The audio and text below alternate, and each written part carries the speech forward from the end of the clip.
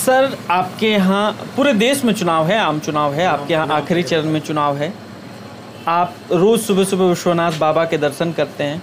लगता है कि चौदह के बाद कोई मुश्किल हुई है, बनारसपन या बनारसीपन, इन सब पे खतरा मटरा रहा है या कोई मुश्किल है? देखिए, हर हर महादेव, सबसे बड़ी बात है कि पहले क्या होता था कि लोग पहले काशीवासी अपने विधवत दर्शन पूजा करते थे। जब से मोदी जी कॉरिडोर को जब बढ़ावा दिए, यहाँ यात्रियों का जनसंख्या सैलाब आने लगा।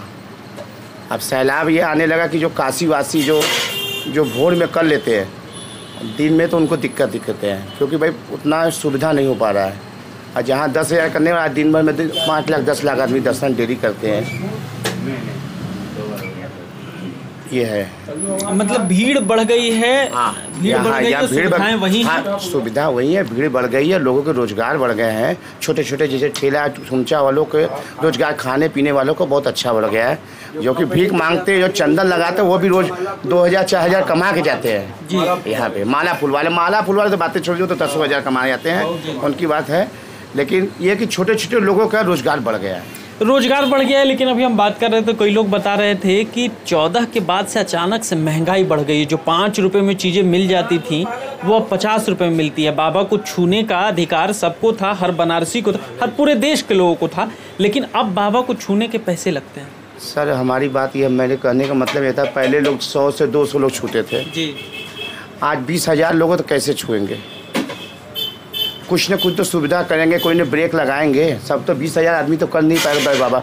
वो भी शिफ्टिंग है। चार से पाँच खुलता है इस स्पर्श के लिए। एक खुलता है ग्यारह से बारह। और तीसरा खुलता है शाम को तीन से पाँच खुलता है दो घंटे के लिए। और एक बार रात को खुलता है। इतना समय दिया जाता है। ये काशी वासियों को पता है ये काशी वासी अपना समय निकाल लेते हैं इसके लिए। मतलब ये टाइम बाउंड है इसी में। हाँ इतना भी एक घंटा एक घंटा जैसे हम लोग हम लोग भोर वाले जितना है तो हम लोग को चार से पाँच दिया गया है। चार से पाँच दिया गया स्पर्श करने के लिए दर्शन के लिए। तो ये बता रहे थे कि बनारस में हालाँकि सुविधाएँ चूँकि मोदी जी ने कॉरिडोर बना दिया और पूरे देश में पूरे दुनिया में काशी का नाम गया इससे मुश्किल ये हो गई कि बनारसी जो छोटी छोटी चीज़ों में खुशी और छोटी छोटी चीज़ों में जी लेते थे अब मुश्किल हो रही है मुश्किल इसलिए हो रही है कि कॉरिडोर में जहाँ पहले कॉरिडोर न होने के पहले जहाँ 2000 लोग आते थे अब पचास हज़ार लोग आ रहे हैं। सुविधाएँ नहीं बढ़ी हैं लोगों का आना जाना बढ़ गया है इसलिए बनारसीपन खतरे में है। आप अपना नाम बताएँ सर। मैं दिव्यांग रंगकर्मी राजकुमार जी मैं पूरा कबाड़ा से बटोर कर मैं चीज़ बनाता हूँ और आप क्या पूछना चाहते हैं? मैं ये पूछना चाहता हूँ कि आप बनारस से हैं बनारस में चुनाव भी है दो बार से मोदी जी लगातार जीत रहे हैं इस बार माहौल क्या है? माहौल तो देखिए ठीक है लेकिन मोदी जी एक चीज़ पर ध्यान नहीं दे रहे हैं जो बेरोजगार दूसरी बात गरीबी और इन्होंने जो कार्य जो भी किए हैं गंगा या बाबा विश्वनाथ के काशी डोर बनाकर अभी अभी अभी हमारे भाई बोले हैं वाकई में बाबा विश्वनाथ जी का लोग पहले जाते थे दर्शन, आराम से करके चले आते थे। इतनी भीड़ जुट गई है कि काशी के लोग अब बहुत कम वहाँ जाते हैं। माहौल तो बन गया बढ़िया, लेकिन भीड़ उतना नहीं है। हाँ उनका एक चीज़ मैं मानूँगा, हम लोग जो कल्पना किए थे गंगा के बारे में, उन्होंने बोला था कि मैं न आया हूँ, न मुझे कोई बुलाया है, अगर कोई बुलाया है तो माँ गंगा ने बुलाया है।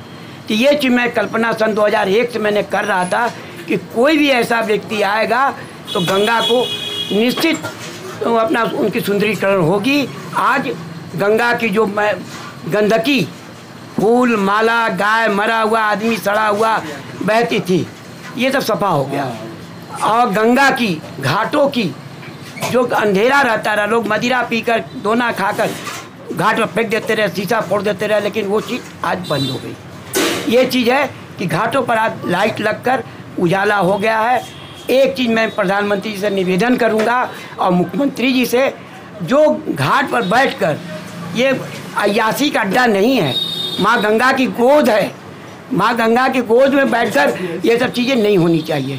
ये इनको, ये चीज़ आपको बहुत, हमको प्रार्थना करना चाहिए। अपनी भाई जो सच्चाई है, ये इस पर रोक लगावें, ये सच्चाई है, गंगा के रोक इस पर रोक लगावें। जी। ये बहुत अच्छी बात है। ये मैं आपको प्रणाम करता हूँ मैं प्रधानमंत्री को निवेदन करता हूँ और चैनल वालों को भी नहीं निवेदन करता हूँ। मुझे उम्मीद है कि प्रधानमंत्री जी इस निवेदन को ज़रूर सुनेंगे इस आग्रह को ज़रूर सुनेंगे और इस पर कोई परिणाम की तरफ़ बढ़ा जाएगा। आप बने रहें महाखबर के साथ। मैं सुधाकर धन्यवाद।